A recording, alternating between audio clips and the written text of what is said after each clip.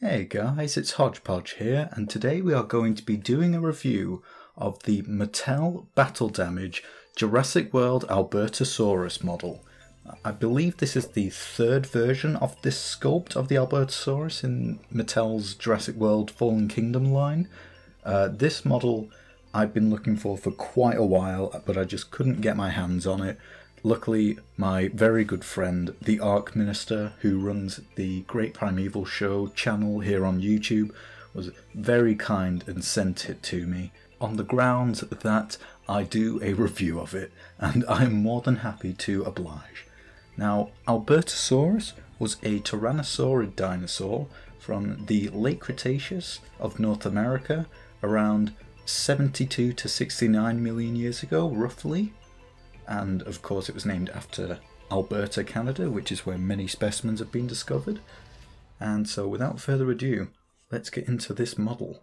Now, right off the bat, the coloration I really like, especially the very striking orange stripe on the head.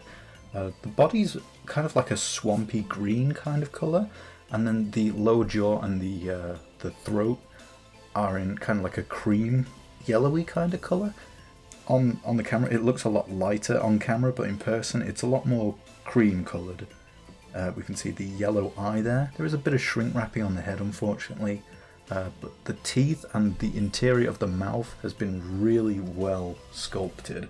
Uh, the roof of the mouth has kind of been sculpted but it's kind of hard to make out. Uh, the tongue has been really well done.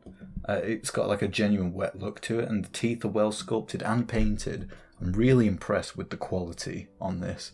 Now, as we get to the back of the head, uh, there's a lot of spikes for some reason. I'm guessing it's just to make it look more fierce, but uh, I am glad that we have the characteristic crests over the eyes that Albertosaurus is well known for. They might be a little bit too big, and they might be a little bit too far forward on the skull. They should probably be, be um, roughly over the eyes, but uh, it's not a huge issue. There is a bit of shrink wrapping here, uh, both on the antorbital fenestra and also on the orbit, but I don't think that's really that big of an issue.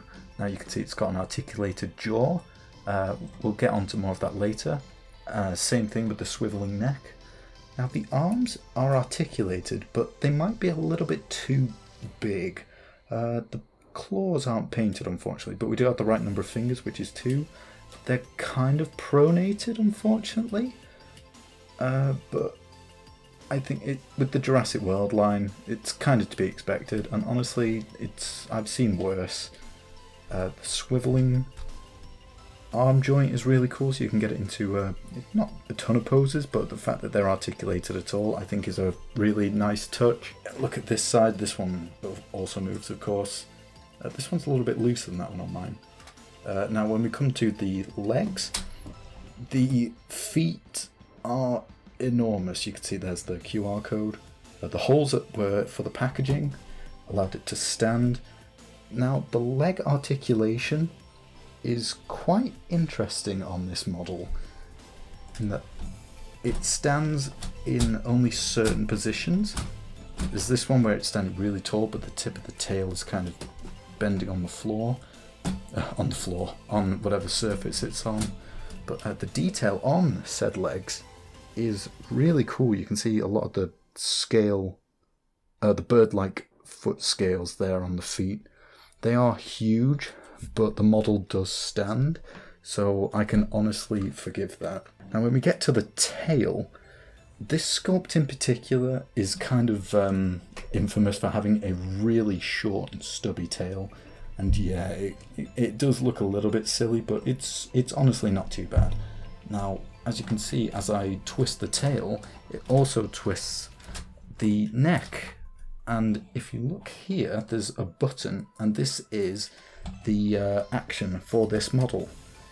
So it's got this biting action and it's really cool. It, I, I imagine kids will love biting and fighting with their other toys with this. I think it's it's really well done. The mechanism is really uh, responsive. It doesn't feel cheap or flimsy at all. It feels very solidly constructed.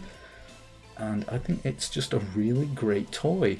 When you look at the back, you can see that the uh, the spikes are going down the spine all the way to the tail. Uh, there you can see the button.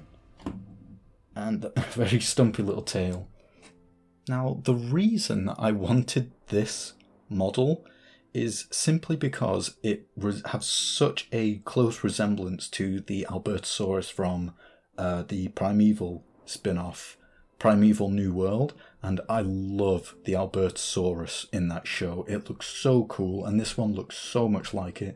I believe the first paint scheme of this sculpt uh, resembled it a little bit more closely than this one, but this one definitely looks more like it than the, uh, I think it was a light blue and yellow one that was the second version of this. Either way, I am so, so happy with this model, and if you can find it anywhere, uh, I highly recommend you pick it up. I know Mattel's a bit iffy when it comes to distribution, but honestly, this model is worth it. I'm so happy with it. Uh, now, something else that struck me about it is how huge it is.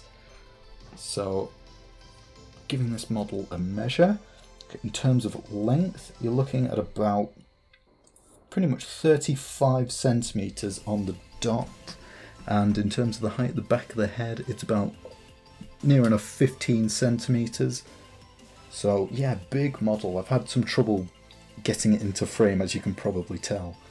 But uh, yeah, that's all I have to say on this model. It's a really wonderful one. It's well sculpted, well detailed. The, uh, the action feature is really fun, as you could probably tell from the start of the video. It works really well, it stands well, and it just looks awesome and I love the paint scheme. So once again, thank you so much to the Arc Minister for sending this to me, and I will see you guys next time. Bye bye now. What's that? You want a satisfying ending?